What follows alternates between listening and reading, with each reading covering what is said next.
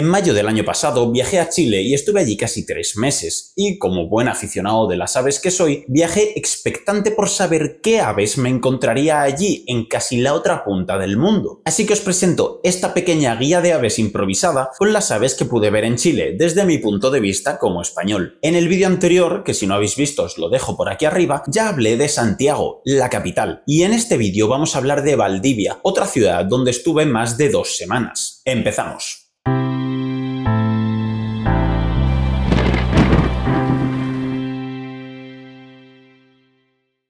Como ya dije en el vídeo anterior, en este vídeo os voy a enseñar las aves que vi en Valdivia durante las dos semanas aproximadamente que estuve allí. Seguramente durante todo el vídeo haré referencias a aves de aquí de España, porque son las aves que conozco y con las que puedo hacer diferentes asociaciones. Espero que os parezca interesante aprender sobre la fauna de un país tan rico y variado como es Chile, tanto a mis seguidores de España como a mis seguidores de Latinoamérica, y en especial espero que este vídeo sea también de interés a mis seguidores chilenos. Valdivia es una ciudad en el sur de Chile, a unas 12 horas de Santiago, en la región de los ríos. Este nombre no está puesto al azar, sino que en esta región hay una gran cantidad de ríos y lagos, y no solo eso, sino que el clima es muy húmedo en general en esta región, dominando la laurisilva o también llamada selva fría. Más concretamente, Valdivia es una ciudad construida donde se unen tres ríos, el Calle Calle, el Caucao y el Cruces, dando lugar al río Valdivia, que desemboca en el Pacífico a pocos kilómetros de allí. No es una ciudad especialmente grande, pero está urbanizada de tal forma que hay gran cantidad de espacios verdes y zonas de humedales completamente naturales, donde habitan muchas especies diferentes de aves. Además, no es una ciudad densa de población, no tiene muchos coches y las casas suelen tener sus propios jardines, lo que hace que sea un ambiente más habitable para más especies. Ah, y por supuesto, es tremendamente lluviosa, mucho más de lo que podáis imaginar. Pequeño aviso, las fotos que van a aparecer en el vídeo no las he hecho yo porque mi móvil hace unas fotos pésimas. Y otro pequeño aviso, los nombres que voy a dar de las aves son los nombres con los que se las conoce en Chile. Probablemente en otros países de Latinoamérica conozcáis estas aves con otros nombres, así que dejádmelo en los comentarios cómo lo llaman en vuestro país. Vale, en este vídeo vamos a diferenciar cuatro ambientes principales. En primer lugar, la propia ciudad de Valdivia, con su río, su puerto, etc. En segundo lugar, vamos a hablar de la costa del Pacífico, desde Niebla hasta Curiñanco, que no es técnicamente Valdivia, pero está muy cerca. En tercer lugar, la selva fría, muy típica de todos los alrededores de Valdivia. Y en cuarto lugar, los humedales y ríos que atraviesan y rodean la ciudad. Empezando por la ciudad, Valdivia tiene un mercado de pescado y otros alimentos junto al río, donde se acumulan montones de aves de diferentes especies junto a los lobos marinos a ver si les cae algo que comer. En primer lugar, por supuesto, encontramos gaviotas, tanto la gaviota dominicana que vimos en el vídeo anterior como la gaviota kawil, muy parecida a la gaviota reidora que encontramos aquí en España. Esta gaviota tiene la cabeza completamente negra en su momento reproductivo, mientras que en su momento no reproductivo tiene la cabeza blanca con una manchita de plumas negras. La verdad, todo este tema de las gaviotas de Chile es muy complicado porque hay hasta 11 especies y algunas demasiado parecidas entre ellas. Otra de las aves que rondan el mercado de pescado es el yeco, que si os recuerda un cormorán es porque pertenecen a la misma familia, incluso antes pertenecían al mismo género. Y aquí vienen dos especies que me sorprendieron mucho, el jote o jote de cabeza negra y el gallinazo o jote de cabeza colorada. Sin exagerar, había cientos de estos buitres volando en círculos alrededor del mercado de pescado y posados por todos los alrededores esperando a ver si les caía algo de comer. Para que os hagáis una idea, son algo más pequeños que un buitre leonado y no tienen nada que ver con los buitres de aquí del viejo mundo, sino que pertenecen a una familia completamente diferente exclusiva de América. Ambas especies son carroñeras y bueno, también se alimentan de basura, restos de animales marinos, etc. Dejando atrás el mercado de pescado, pude ver también una tenca chilena, una especie más o menos del tamaño de un zorzal, endémica de Chile, que habita desde Atacama hasta Chiloé, lo que es un abanico de ambientes bastante grande. Y os presento una de las aves más icónicas de la ciudad de Valdivia, la bandurria. Están por todas partes, en los parques, en las calles, encima de los tejados, por todos lados. Y la verdad no es que sean una ave especialmente pequeña, porque son más o menos del tamaño de un pavo, así que haceos una idea. Estas aves tienen un graznido muy característico, que es como una gaviota mezclado con un burro, pero con la nariz tapada. Bueno, mejor lo escucháis vosotros mismos.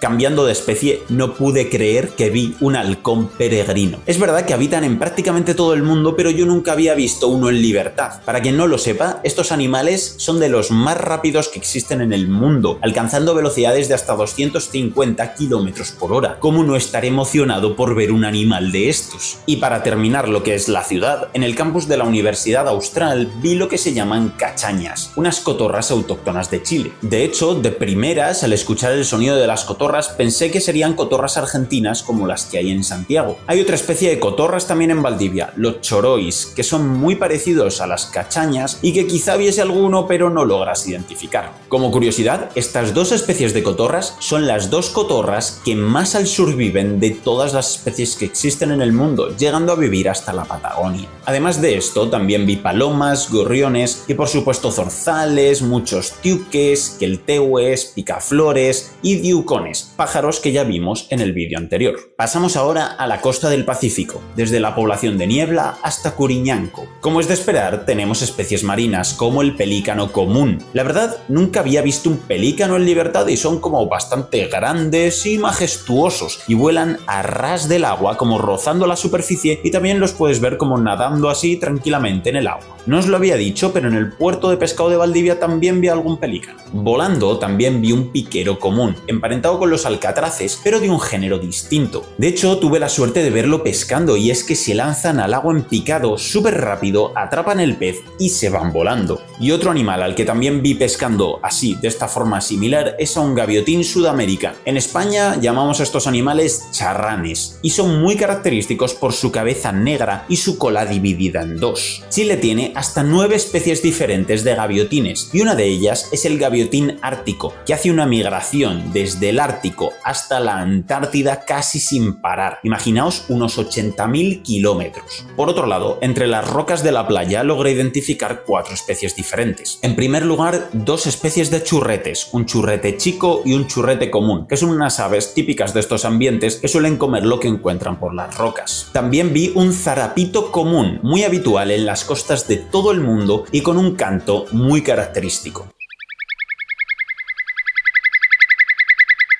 Y finalmente, entre gaviotas, zarapitos y churretes, vi un pilpilén común, lo que en España se conoce como un ostrero. Una curiosidad de este ave es que cuando ve que su nido o sus polluelos se encuentran amenazados, hace como que, como que está herido para que el depredador se fije en él y así desviar su atención del nido y poder salvarlo. Pasamos ahora a la selva fría. Este ecosistema es muy curioso y existe de forma similar en otras partes del mundo, como el norte de España, el este de Argentina o Uruguay. Es literalmente una selva muy húmeda, pero en vez de ser cálida, como las selvas tropicales que a todos se nos viene a la mente, tiene una temperatura media relativamente fría, lo que viene siendo una selva fría. El problema de la selva fría es que al ser muy densa, solo pude identificar cuatro especies. En primer lugar, una torcaza, lo que viene siendo una paloma muy gorda que le gusta vivir en los árboles en zonas boscosas, nada de vivir en las ciudades. Por otro lado, la viudita, un pájaro chiquito que pude ver en un parque a las afueras de Valdivia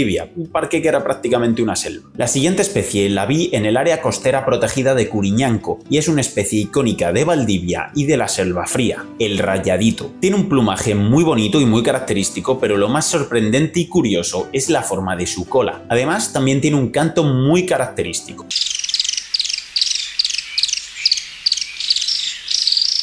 Además de estas tres especies, también vi un cachudito común, que ya hablé de él en el vídeo de Santiago. Y vamos ya con el último ecosistema, los ríos y humedales. Valdivia está rodeada y atravesada de ríos y humedales. De hecho, tienen un programa muy importante de conservación de estos ecosistemas. Muchos de estos humedales se formaron tras el terremoto de 1960, el más potente registrado en la historia de la humanidad, y el tsunami que le siguió y arrasó Valdivia, inundando muchas partes de la ciudad y de los cultivos de alrededor. En estos ecosistemas tan biodiversos pude ver dos especies de garzas. Por un lado, la garza grande, mundialmente conocida, incluso aquí en España, y por otro lado, la garza chica, también de color blanco, pero más pequeña y con el pico gris, y además es exclusiva de América. Esta última la vi en un prado inundado por el río junto a un grupo de queltehues y bandurrias. Como en todo buen ambiente acuático, hay patos. En este caso, vi un grupo de pato jergón chico, pasando bastante frío, la verdad. Como dato, Chile tiene hasta 26 especies de patos autóctonos, un número bastante alto. Os traigo ahora dos especies que a mis seguidores de España seguro que os resultan familiares. Por un lado, la tahuachica, muy parecida a la focha común que tenemos en España. De hecho, son del mismo género. La diferencia es que en España solo tenemos una especie, mientras que Chile hay hasta 6 especies diferentes. Por otro lado, la wala, que seguro que a los españoles os recuerda a un somormujo labanco, y es que también son del mismo género. En Chile existen dos subespecies de este animal. Por un lado, la subespecie mayor, que vive desde Copiapó hasta el centro sur del país, y por otro lado, la subespecie navasi, que habita desde Biobío hasta el Cabo de Hornos, el punto más sureño de América. Seguimos las especies acuáticas con un martín pescador. Mirad, yo en España nunca he tenido la tremenda suerte de ver un martín pescador, aquí, en dos semanas, he podido ver uno. Es verdad que no son para nada la misma especie y de hecho no pertenecen ni a la misma familia.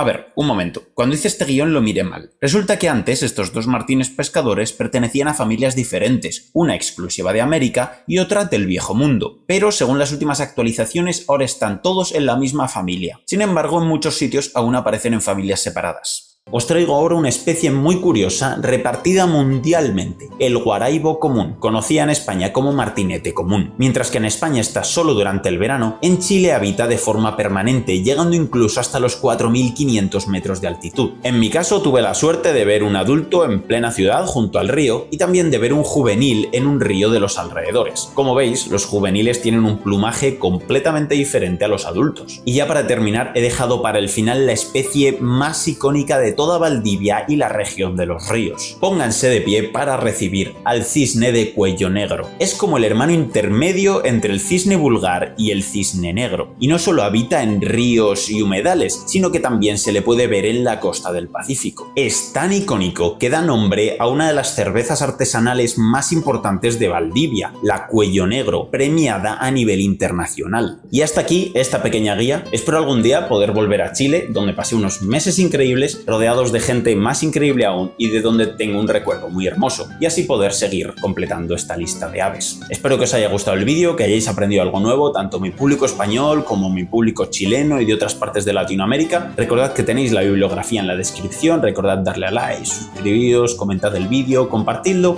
y nos vemos en el próximo vídeo.